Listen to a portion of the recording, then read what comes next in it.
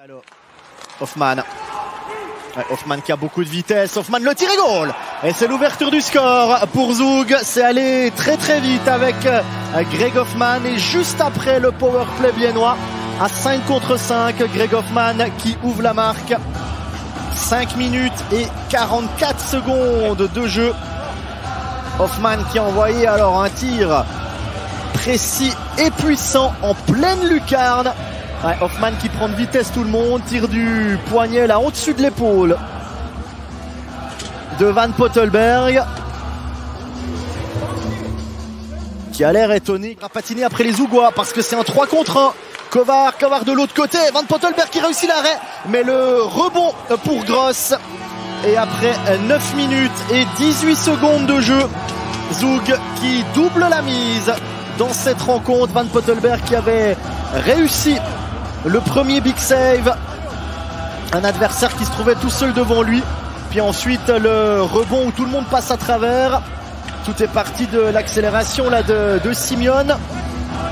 Simeon qui se retrouve seul. L'arrêt de Van Pottelberg. Et c'est Gross qui peut euh, récupérer.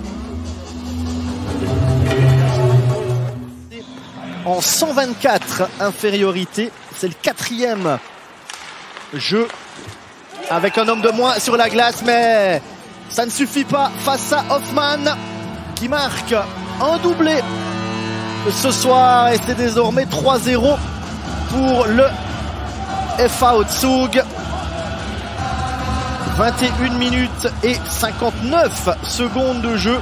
20 secondes seulement. C'est le jeu de puissance Zougois c'est le temps qu'il a fallu pour trouver la faille. À la Talo, Hoffman. Tire du poignet. Imparable là, pour euh, Van Pottelberg. Shore. Shore dans le slot. Sender. Le tir de Sender et goal. Et c'est 4-0 pour Zoug. L'addition qui commence vraiment à être salée là pour les Biennois. 27 minutes et 16 secondes de jeu. Et ça fait déjà 4 à 0 pour les hommes de Dan Tognos. Ça paraît si facile. Tous les tirs biennois qui sont arrêtés par, par Genoni. Kunsley, Kunti, Lindbaum qui tente sa chance et goal. Et c'est le but de Kreis face à ses futurs coéquipiers. 35 minutes et 17 secondes de jeu. Et pour l'instant, Kreis qui sauve l'honneur dans cette rencontre. Samuel Kreis, troisième but de la saison. Sur cette passe de, de Kunti. Ouais, rien à faire là pour euh, Genoni. Certainement surpris de voir ce peu qu'arriver sur sa droite. L'ancien Davosien là qui pose le, jeu de puissance. Rayala, le tir de Rayala et goal. Et bien voilà le deuxième pour le HCBN. 49 minutes et 14 secondes de jeu. Rayala qui inscrit le 4 à 2 à 5 contre 4. Et un petit peu plus de 10 minutes de la fin de cette rencontre. Les Biennois qui reviennent à deux longueurs après cette page d'Ichier.